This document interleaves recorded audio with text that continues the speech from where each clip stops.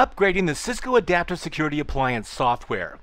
In this nugget, I'm going to show you the fastest, most effective, and safest way to upgrade your ASA to the newest operating system image and the newest ASDM image. Okay, the first thing you want to do is you want to go to cisco.com and log in with your account and go to the download software area under support, the support link. And of course you can go in here and you can look for, for example, ASA 5500 series. Now, if your account doesn't have access to this software, you need to find somebody in your organization who does have access to the software. What I'm looking for is the most recent release, first of all, of the ASA. So I'm going to go ahead and download. This is ASA 844k8.bin. The version I have on my system now is 8.43. That's fine for me. I'm going to go ahead and use that version. I also want to download the most recent ASDM that's compatible with this particular ASA binary. I've already done that, and those are on my desktop right now. So I've got ASA 8.43K8, and I've got the ASDM 6.47. That works perfect for me. Now I'm going to do this in the Adaptive Security Device Manager uh, because it's less prone to user error and it's very fast and efficient. So I've downloaded the images to my management station and I'm running the ASDM on my management station. This ASA presently has 8.21 for the ASA and 6.21 for the ASDM version. I want to upgrade both of these. Now here's the most important thing. What I want to do right now is first I want to update my ASDM. Why? Well, here's the deal. And trust me, I've made this mistake before, and I want to save you some time and save you some headaches. So, for example, if you were to go ahead and update through the tools on the ASDM, the ASA first, right? And then I tried to access this ASA that, with the upgraded 8.4 whatever image.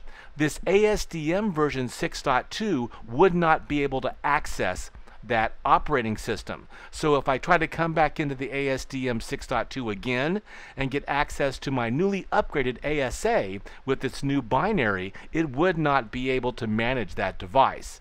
Now, there's obviously ways we can get around that by going into the CLI, but the safest way to do this is to upgrade your ASDM first to the newest version, and that version will be able to now go and access and upgrade this 8.2. Fair enough? Let's go ahead and do that. I'm going to go up to Tools and go to Software Updates. I'm going to upgrade this software from my local computer.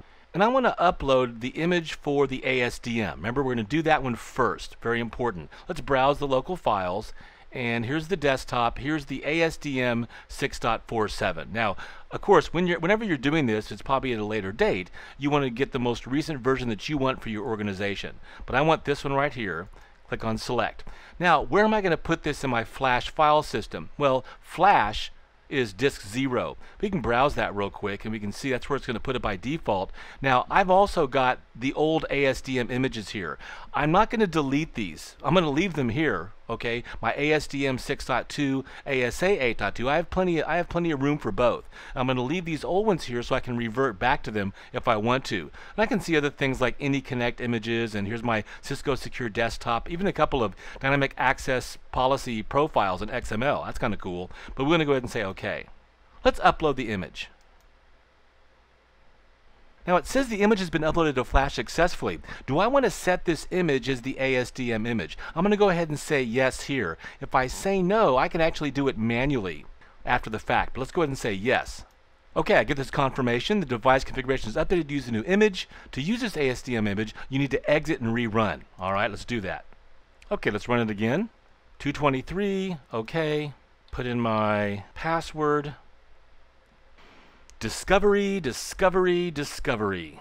Okay, now I'm using the new ASDM version, right, 6.47, which can obviously manage and operate on the 8.2. But now I want to go ahead and update software from local computer, my ASA.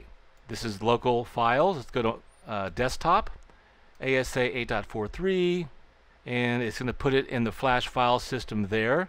Upload the image.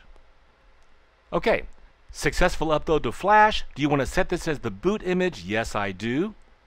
Okay, the device configuration is updated to use the new image. Be sure to upgrade the ASDM. Well, I already did that. Okay, I did that first, and again, that's always the best practice, the way to go. To use this image, I have to do a reload. So I can go to Tools, System Reload to do this. Okay. Tools, System Reload.